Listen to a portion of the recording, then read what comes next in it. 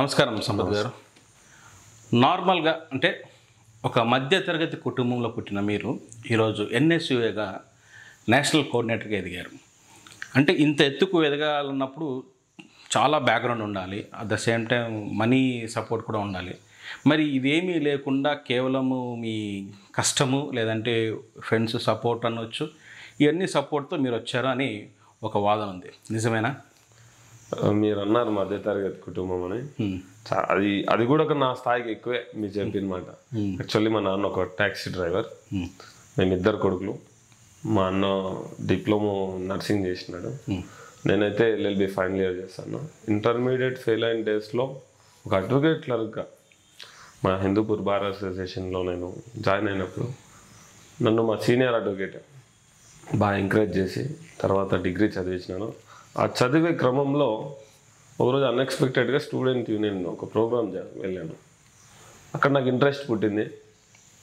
Student unions మీద passion ఏర్పడింది. అందులో ది బెస్ట్ ప్లాట్ఫామ్ కాంగ్రెస్ అనుకున్నా.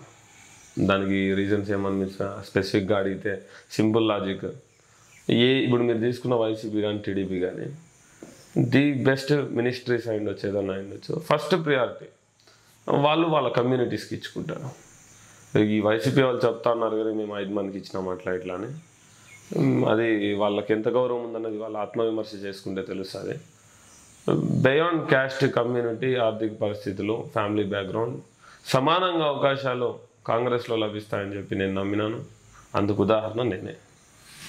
ఓకే. ఇప్పుడు కాంగ్రెస్లో ఉన్నప్పుడు అభివృద్ధి లేదంటే సమాన హక్కు జరుగుతుంది అన్న నమ్మిన మీరు. మరి ఒకనొకప్పుడు పిలుపు వస్తే వైసీపీలో కూడా వెళ్ళారు. మంచి క్వశ్చన్ అడిగినారు. అంటే మీకు ఎక్కడ స్థానం ఇస్తే అక్కడికి వెళ్తారా? లేదంటే ఏంటి అది దానికి నేను చెప్తాను.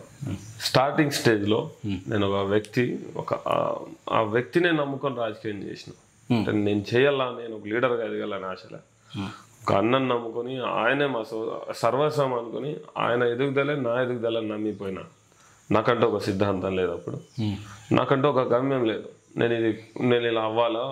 నేను ఇది సాధించాలని చెప్పి లేకపోయింది ఒకరోజు రియలైజ్ అయినాం. ఆధిపత్య పోరు చూసినాం ఆడ లోకల్ నాయకుల నేను ఏదైతే చూ ఉండకూడదు అనుకుని కాంగ్రెస్లో వద్దనుకొని రాజకీయాల గ్రూప్ రాజకీయాలు తట్టుకోలేకపోయినాము. అక్కడ పోయినా అదే చూసినాం. అండ్ కంపేర్ టు కాంగ్రెస్ అసలు వాక్ స్వాతంత్రం కూడా లేని పార్టీ అది. పూర్తిగా ఒక వర్గానికి ఒక కమ్యూనిటీకి సంబంధించిన పార్టీ అనిపించింది. మళ్ళీ వద్దనుకున్నాం. ఇక ఎన్నికి వచ్చినాం వాక్చాతుర్యం లేని పార్టీ అంటున్నారు. మరి ఒక్కనొక స్టేజ్లో వైఎస్ జగన్మోహన్ రెడ్డి గారు కూర్చున్నటువంటి ప్లాట్ఫామ్లో ఆయనకి ఎదురుగా నిలబడి మీకు మైక్ ఇచ్చే ఆయనతో మాట్లాడి ఆయన గురించి చెప్పిన సందర్భం కూడా ఉంది. మరి అంత స్వేచ్ఛ ఇచ్చినటువంటి పార్టీలో మీరు ఎందుకు కొనసాగలేకపోయారు? చెప్పింది నేను ఒప్పుకుంటాను. నాకు అవకాశం ఇచ్చినారు వాళ్ళు మాట్లాడేది. మిగతా వాళ్ళతో పోల్చుకుంటే అక్కడ లాస్ట్ స్టూడెంట్స్ ఎవరు లేరు అంతకన్నా బెటర్గా నాకంటే ఎవరు చెప్పలేరు అనిపించి Hmm. అక్కడ గతి లేని వరకు నాకు మైక్ ఇచ్చినారు తప్పితే Hmm. నాకంటే better గా ఎవరన్నా ఉండుంటే ఇచ్చేవాళ్ళు. సో అవకాశము ఇంకా మీరు అన్నట్టు మీరు ఇంకా చెప్పంటే Hmm. వాళ్ళు ఇచ్చిన అవకాశం అయి ఉండొచ్చు లేకపోతే ఆ మాట్లాడే ఛాన్స్ నాకు దానివల్ల గుర్తింపు వచ్చింది యాక్సెప్ట్ చేస్తా Hmm. ఆ గుర్తింపు అత్తర్ లాంటిది Hmm. అత్తర్ పూసుకోవడానికి కానీ తప్పికేం తీరదు కదా. ఆ గుర్తింపు కూడా అటువంటిదే. అందుకే పక్కకు వచ్చింది సో గుర్తింపు ఊరికే నామకే వాస్త గుర్తింపు అని మీరు అంటున్నారు. మరి అలాంటి ఒక గుర్తింపు కోసం మీరు ఒక వేదిక పైన ఎమ్మెల్సీ గారిని దుర్భాషలాడడము. మరి ఇంకొక వేదిక పైన బాలకృష్ణ గారు చూస్తుంటేనే ఆయన మీద కొన్ని కౌంటర్ పంచులు వేయడం కూడా జరిగింది. మరి ఇవన్నీ గుర్తింపు కోసమే చేశారా? లేదంటే ఐడెంటిఫికేషన్ కోసం చేసింది అయితే కాదా? నేను మీరు అనేది సంతోషం నేను చెప్తాను. మీరు ఎమ్మెల్సింది మీరు ఒక తిట్టాను ఏదో అన్నారు. నేను ఏదో కామెంట్ చేశాను. మీరు బాగా ఆలోచిస్తే నేను మాట్లాడే కాన్సెప్టే ఉమ్, ఆ రోజు ఈవెన్ కాంగ్రెస్ తప్పితే ఒక కాంగ్రెస్ కమ్యూనిస్ట్ పార్టీస్ తప్పితే ఏ ఒక్కరూ మాట్లాడే పరిస్థితుల్లో లేరు ఆ రోజు. ఈ ఎన్ఆర్సీని వ్యతిరేకిస్తే దేశద్రోహులు అన్నట్టు బీజేపీ మాట్లాడుతూ ఉంది. అటువంటి పరిస్థితుల్లో నేను దెబ్బలు తిన్నా పర్లేదు అనుకున్నా అక్కడ అందరు ఉన్నది వైసీపీ వాళ్ళే. లైవ్ డిబేట్ అయినా అది టోటలీ కొల్యూడెడ్ లైవ్ డిబేట్ మీరు చూస్తే టీడీపీ వాళ్ళకి కనీసం మైక్ లాక్కోవడం మాట్లాడే అవకాశం ఇవ్వడం. ఎవరు మాట్లాడితే సబ్జెక్ట్ వాళ్ళని అది మైక్ లాగేసుకోవడం మైక్ ఆఫ్ చేయడం మీరే చూసుంటారు. ఉమ్, నా మనసులో నేను బాగా ఖచ్చితంగా చెప్పాను నేను గట్టిగా నమ్మే సిద్ధాంతం కాంగ్రెస్లో నేను బాగా నచ్చిన సిద్ధాంతం సమానత్వం సమాన అవకాశాలు beyond community beyond religion beyond economic status అని. ఏదైతే ఉందో ఇప్పుడు సిఏ ఎన్ఆర్సీలు తీసుకుంటే మీరు ట్రైబల్ ఏరియాస్కి ఎప్పుడైనా పోయినారో లేదో ఈ వైజాగ్ అట్లా పోతే ఈ శ్రీశైలం అటు సైడ్ వాళ్ళకు ఒంటి మీద బట్టలే ఉండవు. అవును. ఆ బట్టలే ఉండవు. వాళ్ళకి మేనర్స్ ఉండదు. వాళ్ళు ఒక మనుషుల్లో కాదు. ఏదో వాళ్ళు మూగజీ వాళ్ళు ఎట్లా బ్రతుకుతుంటే వాళ్ళు అట్లా బ్రతికేస్తుంటారు. అటువంటి వాళ్ళకి ఆధార్ కార్డులు ఏడు ఉంటాయి. రేషన్ కార్డులు ఏడు ఉంటాయి. ఓటర్ ఐడి ఏముంటుంది? పాస్పోర్ట్ ఏముంటుంది? వీళ్ళు పాస్పోర్టే చెల్లదని చెప్తా ఉన్నారు. ఉమ్, ఇక ఆధార్ కార్డు లెక్కలేదంటా ఉన్నారు ఉమ్, నువ్వు థర్టీ ఇయర్స్ కింద డాక్యుమెంట్స్ తీసుకురమ్మంటే ఉమ్, వీళ్ళు ఏం చేస్తారు? ఏం ప్రూవ్ చేసుకుంటారు? నేను అదే అదే దృష్టితో అదే ఉద్దేశంతో నాట్ ఓన్లీ ముస్లిమ్స్ అని ప్రొజెక్ట్ చేస్తా ఉంది కానీ బీజేపీ ఇది యావత్ పౌరులకి అవి ఇబ్బంది అవుతుంది. ఒక మనిషి ఒక ఐదు నిమిషాలు ఆలోచిస్తే తెలుస్తుంది. ప్రాజెక్ట్ అట్లా చేసినారు. ముస్లిమ్స్ మాత్రమే ప్రూవ్ చేసుకోమంటా ఉన్నారని. మరి అస్సాం రాష్ట్రాలను చూడండి. లక్షల్లో జనాలు. ఏం ముస్లిమ్స్ వాళ్ళందరూ? వాళ్ళందరూ ఈరోజు అనుభవిస్తా ఉన్నారు ఇబ్బంది. ఉమ్, అసలు ఎక్స్ మిలిటరీ ఆఫీసర్లు ఎక్స్ గవర్నర్ పిల్లలు మాజీ రాష్ట్రపతుల బిడ్డలే నీకు ఎన్ఆర్సీలో మీరు సభ్యులు కాదు మీరు దేశ పౌరులు కాదు అని చెప్పి వస్తే ప్రూవ్ చేసుకోలేకపోతే. మాజీ కర్నల్ ఆర్మీలో తన కాలు విరుగు కొట్టుకొని ప్రాణాలు కోల్పోయిన వాళ్ళు అట్లాంటి వాళ్ళ పిల్లలే మీరు దేశ పౌరులు కాదనే దయనీయ పరిస్థితి ఉంది. అటువంటప్పుడు ఇది ఒక ముస్లిం కమ్యూనిటీకి సంబంధించింది అనుకునేది అమాయకత్వం. ఆడ రాజ్యసభలో వీళ్ళు ఆబ్సెంట్ అయిపోతారు వైసీపీ వాళ్ళు. వైసీపీ వాళ్ళు కేసీఆర్ ప్రభుత్వం వీళ్ళందరూ ఆబ్సెంట్ అయిపోయి రాజ్యసభలో ఇండైరెక్ట్గా మద్దతు ఇస్తారు. ఎవరైతే ప్రజెంట్ ఉంటుందో ఏ ఏ ఎంపీలు ఎక్కువ ప్రజెంట్ ఉంటారో రాజ్యసభలో ఆ ఓటింగ్ మీద డిసైడ్ అవుతుంది అవును. వీళ్ళు ఆబ్సెంట్ అయిపోయి ఎట్లుంటదంటే మద్దతు ఇచ్చేస్తారు ఇండైరెక్ట్గా. ఉమ్, పార్లమెంట్లో బహిరంగంగా మద్దతు ఇస్తారు ఈడొచ్చి ప్రెస్ మీట్ పెడతారు. నీ ప్రెస్ మీట్కి వాల్యూ ఉందా? నీ పెట్టిన సిగ్నేచర్కి వాల్యూ ఉందా? చెప్పింది బాగా అర్థం చేసుకోండి. వీళ్ళు ఆడ మద్దతు ఇవ్వడం వీడొచ్చి ప్రెస్ మీట్లు పెట్టడం జనాల్ని మెస్మరైజ్ చేయడం. ఎవడైతే ఆడ వ్యతిరేకత పుడుతుందో ఆ కమ్యూనిటీ నుంచి ఎవరిని తీసుకోవడం వాళ్ళతోనే ప్రెస్ మీట్ పెట్టించడం. అంతా కుల రాజకీయాలు చేస్తా ఉన్నారు. ఇటువంటి సందర్భంలో నన్ను కొడతారని తెలుసు. ఆడున్నదంతా వాళ్ళ మనుషులే అని తెలుసు. ఈవెన్ దో నేను దెబ్బలు తిన్నా ఎందుకు అనే టాపిక్ వస్తుంది. లేదు నేను ఆయన దుబారా మాట్లాడినాను అనుకుంటే ఈవెన్ దో ఎన్ఆర్సీ టాపిక్ వస్తుంది నేను వ్యక్తిగా గుర్తింపు తెచ్చుకునేవాడిని అయితే నేను కాంగ్రెస్ పార్టీ పేరు చెప్పి నేను ఎన్ఎస్వై లీడర్ అని చెప్పి నేను నా దానివల్ల బెనిఫిట్ అవ్వాలనుకుంటా. నేను కండువా వేసుకున్నా కండువానే నా గౌరవం అనుకున్నా. నేను ఏదైతే టాపిక్ మాట్లాడినానో ఆ టాపిక్ వర్తి ఆ రోజు దానికంటే ముందు అమ్మఒడి గురించి కూడా కామెంట్ చేసినాను నేను. వీళ్ళు ఓ ఎదలు గుద్దుకున్నారు. వైసీపీ రాకముందు మేము వస్తే ఏదో చేస్తాం ఏదో చేస్తాం నారాయణ చైతన్య. దేశ చరిత్రలో ఎన్నడూ లేని విధంగా దాదాపు నాలుగు వందల డెబ్బై ఆరు ఆత్మహత్యలు. మన తెలుగు రాష్ట్రాల్లో ఎస్పెషల్లీ మన ఆంధ్రాలో. అన్ని ఆత్మహత్యలు జరిగితే కనీసం వీళ్ళు సిబిఐకి అప్పగించే ధైర్యం చేయలే. ఆ రోజు ఇదే వైసీపీ గవర్నమెంట్ డిమాండ్ చేసింది సిబిఐకి అప్పగించమని. ఈ రోజు ఎందుకు నోరు మూసుకొని ఉన్నారు మీరు? లాలూచి పడినారు. లాలూచి పడి ఇప్పుడు యాభై అరవై వేలు ఫీజు కట్టి వాడు చేర్పిస్తున్నాడు అంటే స్థాయికి మించి అటువంటి వాళ్ళకి ఇవ్వడం అవసరమా అందరికీ ఇచ్చినారు. ఇప్పుడు కేవలం ప్రభుత్వ పాఠశాలను బలపరిచే ఉద్దేశం ఉంది. ప్రభుత్వ పాఠశాలను బలపరిచే ఉద్దేశం ఉంటే కేవలం ప్రభుత్వ పాఠశాలలకు ఇవ్వాలి కదా. అయితే విద్యాకానికి ఇచ్చిన ఇవాళ స్కూల్కి షూస్ మనీ మళ్ళీ అన్ని స్కూల్స్కి ఇది కూడా. అంతా వీళ్ళు ఓట్ బ్యాంక్ రాజకీయాలు కమిషన్ రాజకీయాలు వీళ్ళు అన్ని ఇవాళ వీళ్ళు చేసింది కూడా అదే. బీజేపీ అంటే భయం ఉంది. కేసులు కొట్టేపించుకోవాలా ప్రత్యేక హోదా అడిగే ధైర్యంలే మాట్లాడే యోగ్యతలే ఏం చేస్తారు? ఆడ పోతారు షో వేస్తారు ఒక శాల్వా కప్తారు ఈడ వస్తారు ప్రెస్ మీట్ పెడతారు వంచుతాం గించుతాం అంటారు. ఏడుంది? ధైర్యం చేసి నువ్వు త్రిబుల్ తలాకి వ్యతిరేకించినావా? ధైర్యం చేసి ఎన్ఆర్సీ సీఏలకు వ్యతిరేకించినావా. లేదు కదా? లేదు. కరెక్టే ఇప్పుడు ఏమైపోయిందంటే కాంగ్రెస్ ప్రభుత్వంలో కూడా మోడీకి అమిత్ షాకి ఎదురు నిలబడే వాళ్ళు ఎవరైనా ఉన్నారా? అంత డేర్ అండ్ డాషింగ్గా కేవలము దాని ద్వారానే ఆల్మోస్ట్ ఆల్ ఇప్పుడు కాంగ్రెస్ కనుమరుగైపోతుంది. ఎక్కడ ఏ ప్రాంతంలో అసలు ఉండుతో ఉంటుంది? కనుమరుగైపోతుంది అన్న మాటకి నేను ఒకటే సమాధానం చెప్తాను. మీరు ఈ గరక మీ ఆఫీస్ ముందు గరక చూస్తుంటారు. ఆ గరక తినే గాడిదలు చచ్చిపోతాయి. గుర్రాలు చచ్చిపోతాయి. గరక చచ్చిపోతుందా? పుడతా ఉంటది. కాంగ్రెస్ పార్టీ కూడా అటువంటిదే. నాయకులు మారినంత మాత్రాన పార్టీలు వదిలేసిపోయినంత మాత్రాన పార్టీ చనిపోయినట్టు కాదు. మీరు ఇవాళ చూసుకుంటే ఓపెన్ ఛాలెంజ్ చేస్తాను నేను. ఉమ్, ప్రజల్లోకి పోయి కాంగ్రెస్ మేలా బీజేపీ ప్రభుత్వం మేలా అని చెప్పి మీరు ఎవరిని అడిగినా కాంగ్రెస్ అనే చెప్తారు. మీరు అట్లా రైతుల్లోకి పోండి లేకపోతే పల్లెలు పోండి ఎవరిని అడిగినా అదే చెప్తారు. ఒక క్షణం ప్రతి ఒక్క భారతీయుడు నేను హిందువనో లేక నేను ముస్లిం అనో నేను క్రైస్తవుడను వాడి రిలీజియన్ మర్చిపోయి నేను కేవలం భారతీయుని అనుకొని ఆలోచిస్తే మోడీకి ఓటేసేదానికి ఒక రీజన్ కనబడదు. ఒక్క రీజన్ కనబడదు. దేశ రక్షణ విషయాలే మాట్లాడదాం.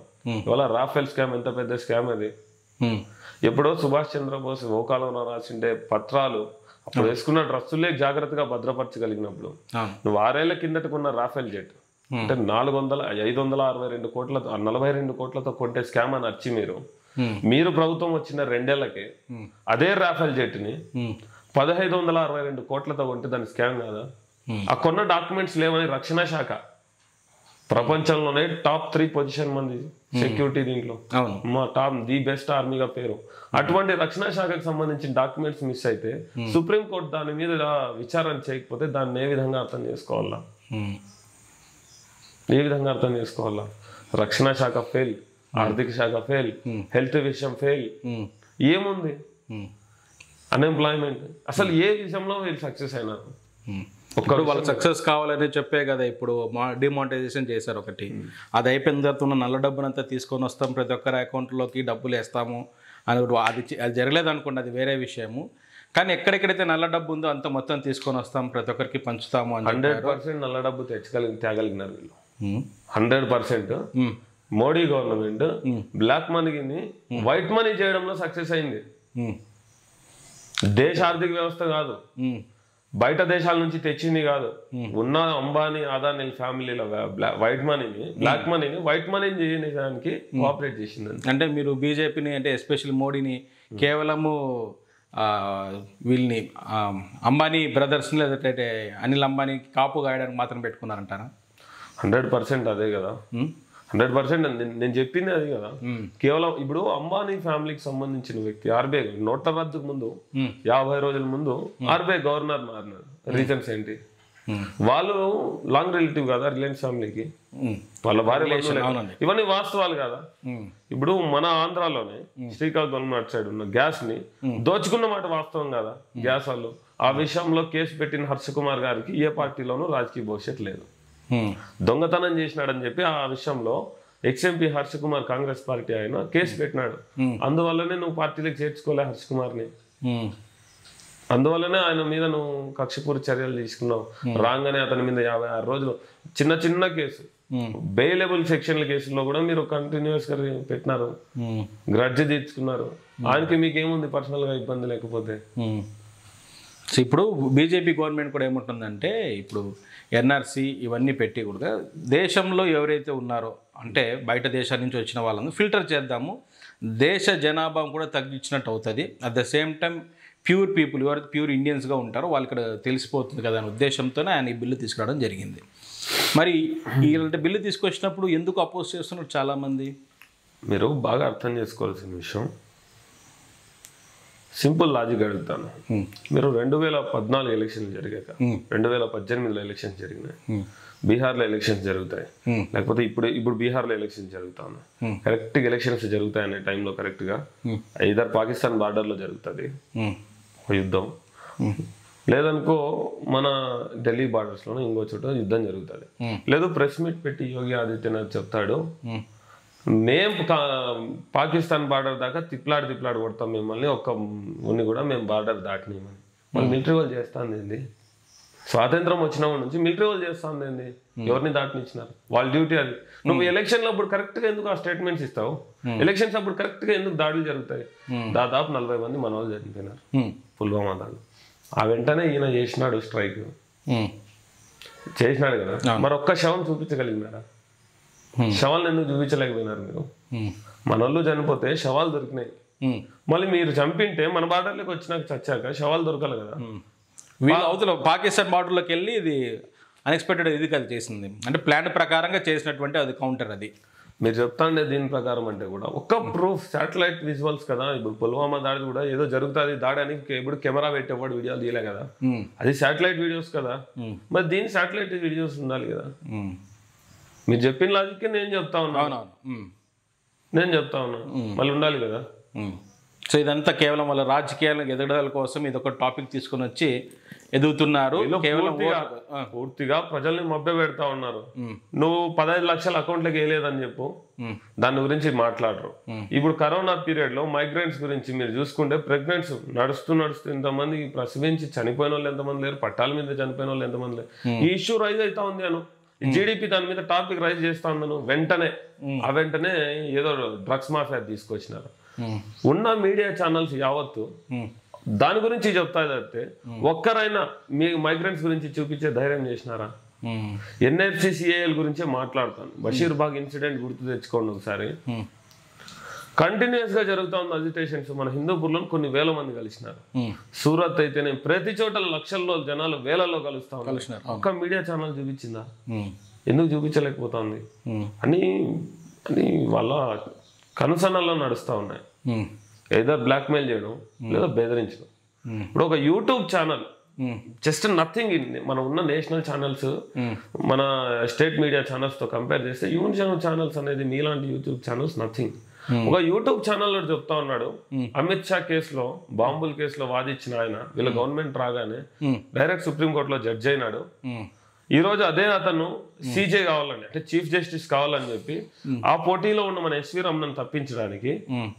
ఏడో తారీఖు పోతాడు ఆరో తారీఖు పోతాడు Hmm. మోడీని షాని కలుస్తాడు జగన్మోహన్ రెడ్డి ఆ మరుసటి రోజే వస్తాడు లెటర్ రాస్తాడు ప్రెస్ మీట్ పెడతాడు. దీన్ని ఏ విధంగా అర్థం చేసుకోవాలా. అంటే వాళ్ళ కన్సర్న్లో నువ్వు నడుస్తా ఉన్నావు వాళ్ళ మనిషి ఇప్పుడు జడ్జి కావాలి కాబట్టి ఉన్న పోటీలో మన తెలుగోడు జడ్జి అవుతాడు కాబట్టి ఇతని మీద ఒక నింద మోపినప్పుడు కంప్లైంట్స్ వచ్చినప్పుడు ఇతన్ని పక్కన పెడతారు కాబట్టి నువ్వు పక్కన పెట్టించేదానికి వాళ్ళకి నువ్వు కోఆపరేట్ చేస్తా ఉన్నావు ఉమ్. అంతే కదా ఇప్పుడు బాబ్డే అనే వ్యక్తి Hmm. మర్డర్ కేసుల్లో ఈ బాంబుల కేసుల్లో అమిత్ షా వాదించిన మాట వాస్తవమే కదా. నేను చెప్పిన ఈ ఈ మాటని యూట్యూబ్ ఛానల్స్ ఇంటర్నేషనల్ ఛానల్స్ వేరే కంట్రీస్ వాళ్ళు చూపించగలుగుతా ఉన్నారు. నేషనల్ ఛానల్స్ కానీ కళ్ళ గంటలు కట్టుకున్నాయి. నోటికి చిక్కమ్మ కట్టుకున్నాయా? మ్మ్. ఇప్పుడు వీళ్ళు వచ్చిన రెండు సార్లు అనుకుందాం అంటే గత నాలుగు సంవత్సరాలు ఇప్పుడు వచ్చిన రెండు సంవత్సరాలు. ఆరు సంవత్సరాల్లోనే మొత్తం మీడియాని అంతా వాళ్ళు గుప్పెట్లో పెట్టుకొని నడుపుతున్నా అంటున్న మీరు. మరి అంతకు ముందంతా నడిపిందా కాంగ్రెస్ గవర్నమెంటే కదా? వాళ్ళు ఎందుకు అది పెట్టుకోని వాళ్ళు కూడా ఈ మీడియా ఛానల్స్ అన్ని కూడా వాళ్ళు గుప్పెట్లో పెట్టుకొని నడిపించిండొచ్చు కదా అప్పుడు కూడా. మీరు చెప్పుకుంటే ఇందిరాగాంధీ పీరియడ్ని మీరు ఎగ్జాంపుల్ చెప్పొచ్చు. ఎందుకులేండి నిందలు ఎందుకు? కాంగ్రెస్ గురించి మీరు సింపుల్గా ఇందిరాగాంధీ పీరియడ్ని గుర్తు తెచ్చుకోవచ్చు. అట్లా చెప్తే చెప్పండి. మీరు చెప్పిందే నిజమైతే నిర్భయ ఘటన అనేది బయటికి రాదు. నిర్భయ ఘటననే ఇన్సిడెంట్గా తీసుకోండి. ఒక అమ్మాయిని క్రూరంగా ఒక ఒకే ఇన్సిడెంట్ జరిగితే ఆ పేరు మీద ఒక చట్టమే వచ్చింది. ఆ పేరు మీద ఒక చట్టమే తెచ్చిన కనుక నిర్భయ. నిర్భయగా వచ్చింది. ఎగ్జాంపుల్ కదా ఆర్టీఐ యాక్ట్ తెచ్చినాము. వీళ్ళు చెప్తాండే టూ జీ స్పెక్ట్రమ్ కానీ ఇంకో కుంభకోణం కానీ ఆర్టీఐ యాక్ట్ల ద్వారా బయటకు వచ్చింది కదా. మ్మ్. మళ్ళీ అవేం నిలబడిందిలే. వీళ్ళ అధికారంలోకి వచ్చినాక. వచ్చిన తర్వాత ఏవి ఏ కేసులు నిలబడిందిలే. దీని మీద ఆ రోజు ఉద్యమం చేసిన కేజ్రీవాల్ అగర్వాల్ ఆయన పెద్ద ఆయన ఏడబోయినారు ఈరోజు. మీరు చెప్పిన లెక్కాచారం ప్రకారమే నేను అడుగుతా ఉన్నా మీడియా ఛానల్స్ని మీరు గుప్పిట్లో పెట్టుకొని ఉంటే అది రాజు బయటికే రాదు కదా ఇన్సిడెంట్. మ్మ్. నిజాయితీగా ఉన్నాం. కాంగ్రెస్ వాళ్ళు liberal. We are liberal people. Hmm. మేము రాజ్యాంగానికి. బద్దులమై బ్రతుకుతాం. రాజ్యాంగాన్ని గౌరవిస్తాం. వీళ్ళు రాజ్యాంగాన్ని పబ్లిక్లో చింపుతా ఉంటే. ఏం చేస్తా ఉన్నారు? I'm Sanghvi I'm MP Gandhi బొమ్మను పెట్టి కాలుస్తా ఉంది. దాన్ని ఏ విధంగా అర్థం చేసుకోవాలా? మళ్ళీ ఆమె మీద దేశద్రోహం కేసు కట్టాలి కదా. ఎందుకు కట్టలేదు? డాక్టర్ కఫీల్ ఖాన్ మ్మ్. ప్రజా సేవ చేసే అతన్ని తీసుకుపోయి దేశద్రోహం కేసు కట్టినారు యూపీలో. వీళ్ళు ఏం చేస్తా ఉన్నారు? కాషాయం రాజకీయం చేస్తా ఉన్నారు. కులం మన మతం రంగద్దుతున్నారు మ్మ్. మతం మత్తులో దేశాన్ని నాశనం చేస్తా ఉన్నారు. మ్మ్. ఎవరు మాట్లాడితే వాళ్ళని దేశద్రోహం అంటారు. మరి అదే కాంగ్రెస్ ప్రభుత్వం ఉన్నప్పుడు కూడా హిందూ ముస్లిం గొడవలు ఎక్కువ జరిగేవి. మరి బీజేపీ ప్రభుత్వం వచ్చిన తర్వాత అన్ని గొడవలు లేవే మరి? మీరు చెప్తున్నాను కదా. అప్పుడు మీడియాకి మేము లిబరల్గా ఇచ్చినాం. మేము ఇలా అంచివేలే. అందుకే ఆ ఇన్సిడెంట్స్ బయటకు వచ్చినాయి. నేను హండ్రెడ్ పర్సెంట్ ప్రతి దానికి సీఎం లింక్ చేయను. ప్రతి దానికి మోడీని లింక్ చేయను. కానీ అది జరిగినా నువ్వు మౌనంగా ఉన్నావంటే మాత్రం నీ తప్పు అంటాను నన్ను.